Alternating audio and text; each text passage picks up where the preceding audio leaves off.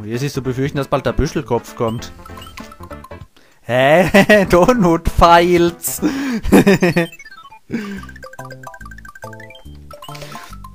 oh nein, es wird Super Mario World sein, was ich überhaupt nicht kann. Jetzt habe ich gar nicht mal gelesen, wie dieses Level heißt. Aber da ist ja ein Justin Cheater. Den ich überhaupt nicht benutzen kann, toll. Nämlich den Justin Cheater kann man nur dann benutzen, wenn man Mario oder Luigi heißt.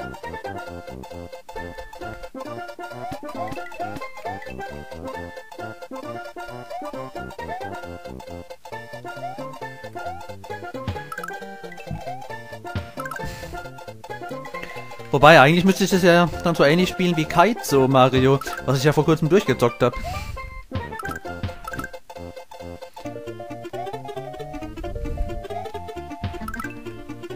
Nämlich eigentlich ist Kaizo Mario gar nicht mal so schwer, muss ich sagen.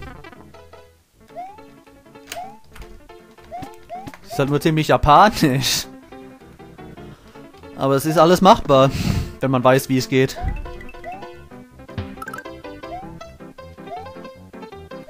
Könnte ich vielleicht mal wieder ein Power-Up kommen oder so.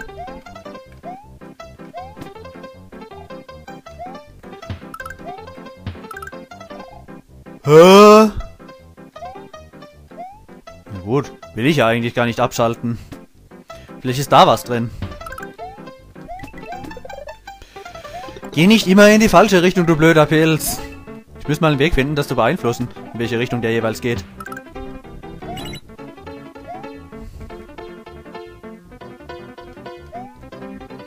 Mal sehen, ob das jetzt hier so ist, wie in Kaizo Mario.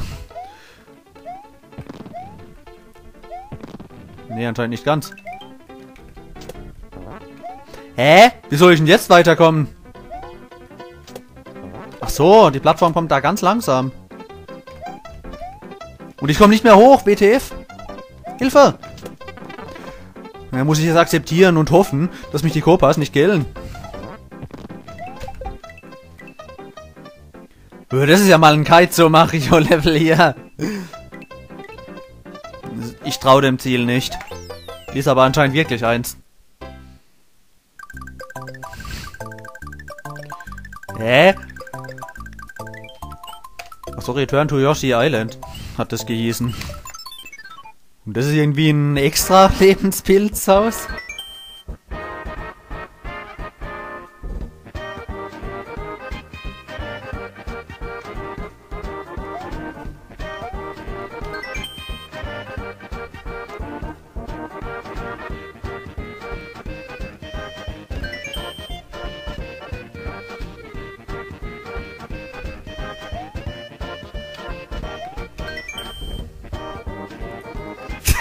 Na klar, den gibt's natürlich auch wieder.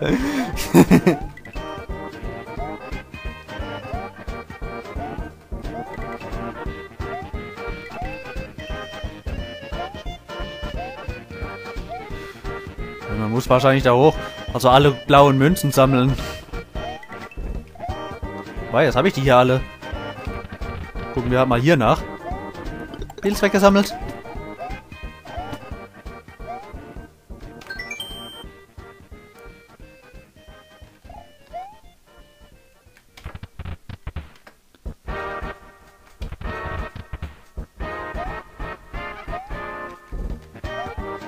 Hä, was sucht der Blödmann hier?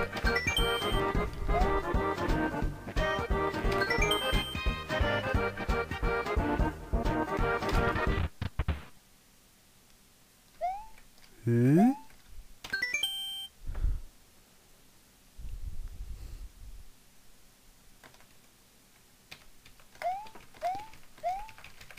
Ja, nein. Das kann ich ja gar nicht einsetzen. Aber für irgendwas wird das wohl gut sein.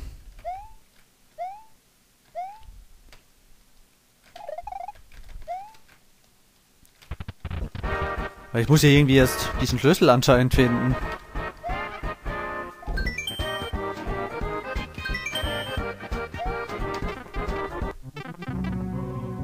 Oh nein! Jetzt kommt auch noch ein Pövenhammer Duet. Zumindest der Musik nach zu urteilen. Ah. Oh nein, dieser Luschi hat sich natürlich treffen lassen.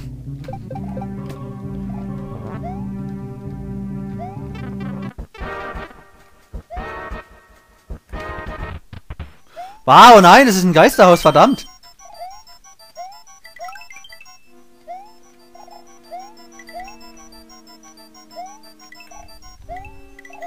Das ist ja ein richtiges Level hier. Was zum Teufel?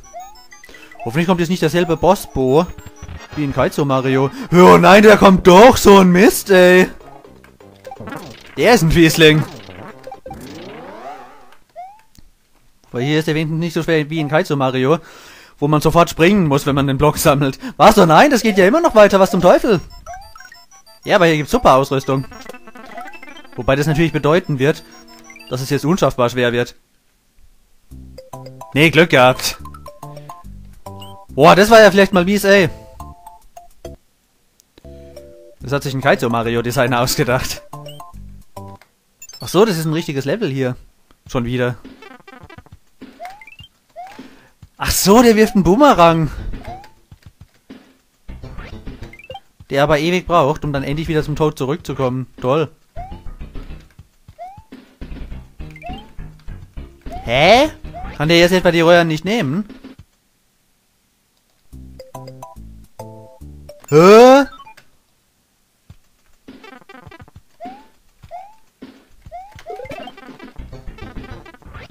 Vielleicht ist das tatsächlich so gedacht.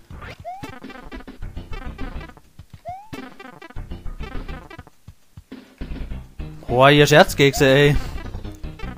Muss mir ja auch noch richtig raten.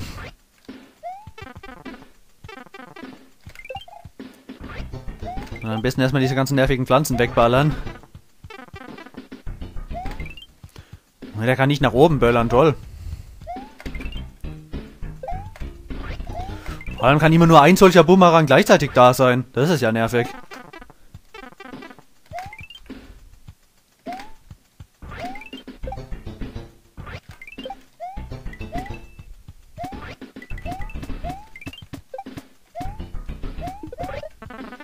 Ja toll, das wollte ich gar nicht.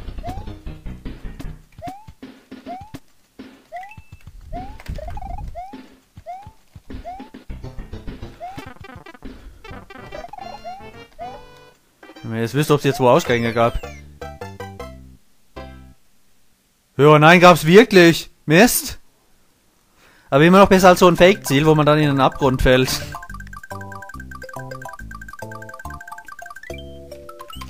Ich bin jetzt einfach mal so verrückt und gehe in das Geisterhaus.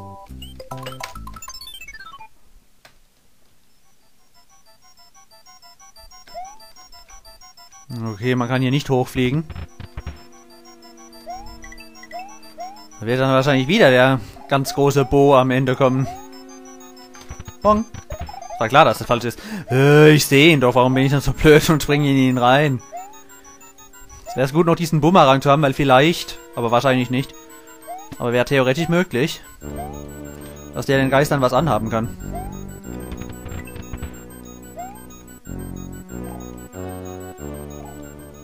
Wobei beim Link war es ja auch so, wenn der einen Hammeranzug, also einen Schattenmodus heißt der da, hat, dann kann er den Geistern damit trotzdem nichts anhaben, leider.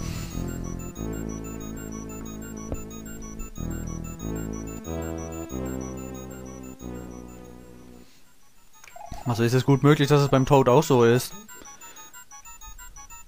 Muss man hier links oder rechts rein? Nee, glaub nicht. Man muss wahrscheinlich einfach nur durchhalten. Darf sich nicht von den Geistern erwischen lassen. Was toll ist. Weil man nämlich leider nicht in der Lage ist, die abzuballern.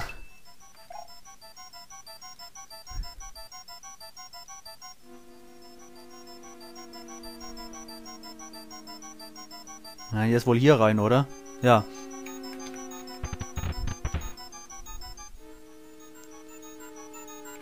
Okay, es ist wirklich ein Ausgang.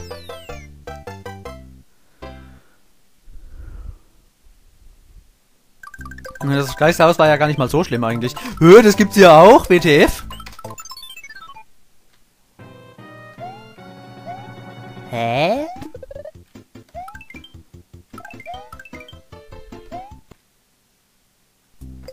WTF, man kann Abs farmen. Die sind ja vielleicht mal welche. Da farme ich mir mal ein paar, weil hier gibt's ja anscheinend hin und wieder mal einen Checkpoint. Also bringen die Ups auch was. Aber ich will jetzt mal was testen. Ob die Ups vielleicht immer in die Richtung gehen, in die ich guck? Nee. Vielleicht gehen die immer in die Richtung, in die ich nicht guck. Versuche ich jetzt nochmal. Nee, völlig zufällig. Die sind ja nämlich in unterschiedliche Richtungen gegangen, mistigerweise.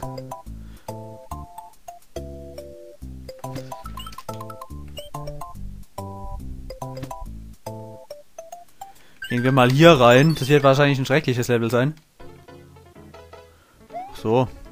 Ist auch wieder ein Kaizo Mario Level wie immer. Leck, leck, leck, leck. Äh, geht das schon wieder los. Leck, leck, leck, leck, leck, leck, leck, leck, leck, leck, leck, leck, leck. Unspielbar. Oh nein, und dann auch noch ganz japanisch. Werde ich wegen dem Leck natürlich aus dem Bild springen. Na klar, kommt das Viech, wenn ich da stehe. Natürlich ist der dreckige Pilz so ein Bastard und geht in die falsche Bastard-Richtung. Ja, aber das war ja gerade eben mal buggig, dass die Pflanze gekommen ist, obwohl ich da war. Normalerweise nehmen zumindest die von unten immer Rücksicht auf einen.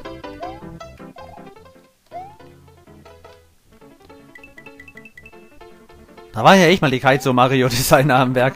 Was? Oh nein, WTF?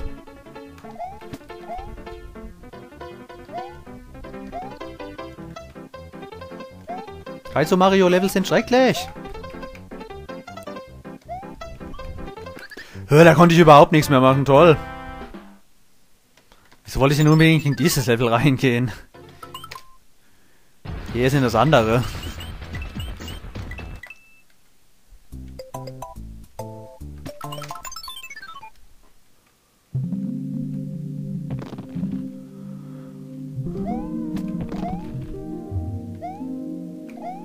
Yeah, ist wenigstens die Musik cool.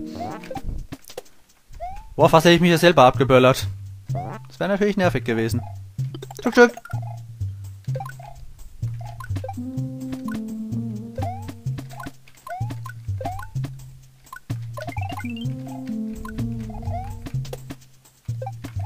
Was? Oh nein! Ich wollte ihn eigentlich aufheben. Na klar.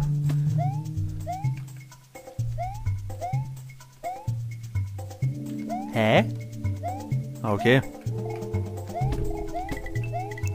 Da hätte eine Blume drin sein sollen.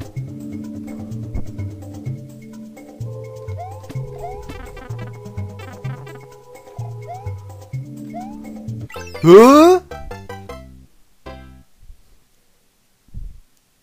Was? Das war's schon? Hä, da kommt schon wieder eine Burg. Dead Castle? WTF? Oh nein, das ist ein Kaizo Mario Schloss.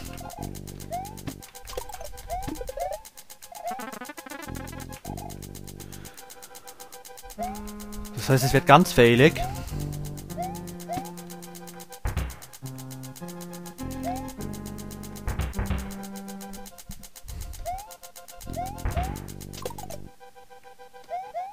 Was sollen die Typen eigentlich?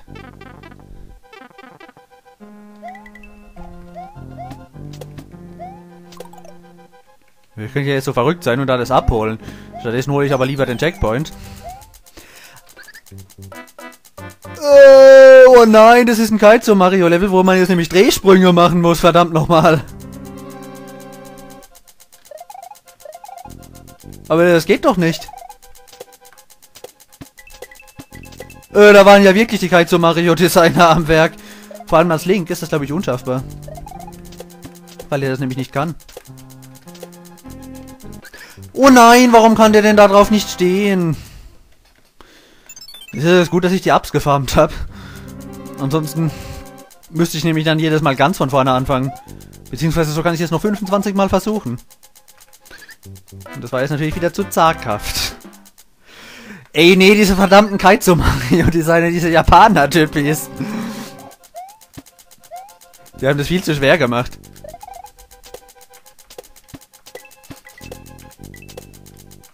Vor allem, dass er auf denen hier noch nicht mal stehen kann. Das suckt ja vielleicht mal. Normalerweise wird man das nämlich erwarten, dass er das kann.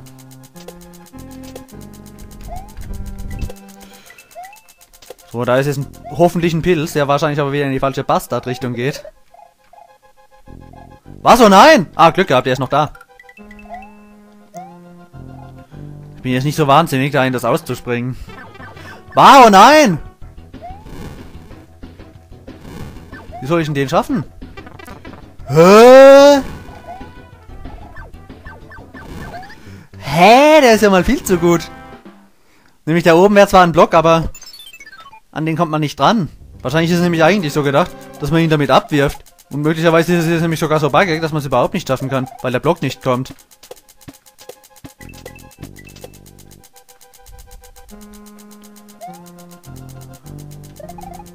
Oder aber die verlangen von einem, dass man einfach ganz hoch springt.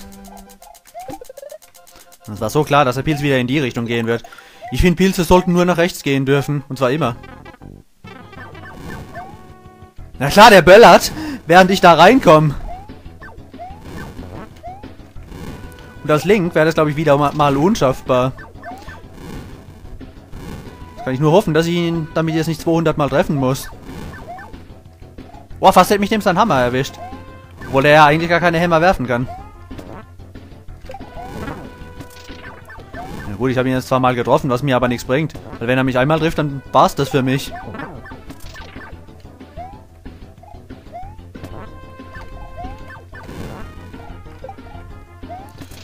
Der springt viel zu viel.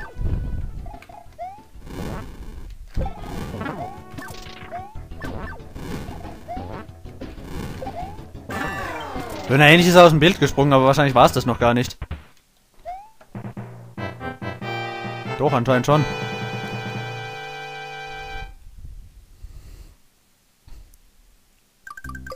Da waren ja echt mal die Kaizo Mario Designer am Werk. Okay, ich mache einen Cut.